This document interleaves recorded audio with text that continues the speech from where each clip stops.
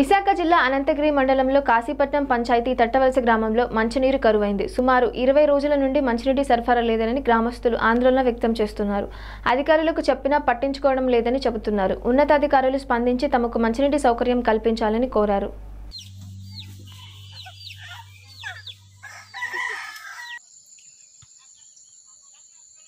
పంచాయతీ అనంతగిరి మండలం విశాఖ జిల్లా. మా ఊర్లో అసలు నీరుకి ఇబ్బంది. ఊటగడ్డలు కాయడం అయితే కష్టం అవుతుంది ఆ నీళ్ళు తాగితే కానీ జలుబు దగ్గు వస్తుంది. మలేరియా కూడా వస్తుంది. చెప్పినా పట్టించుకోవట్లేదు. ఆ వాలంటీర్ వచ్చి వచ్చి మరి ఇప్పటికి మూడు రోజులు వచ్చినారు వాలంటీర్ కూడా. మరి ఆడి వల్ల కూడా కావట్లేదు మీ సెక్రటరీ పేరేం పేరు?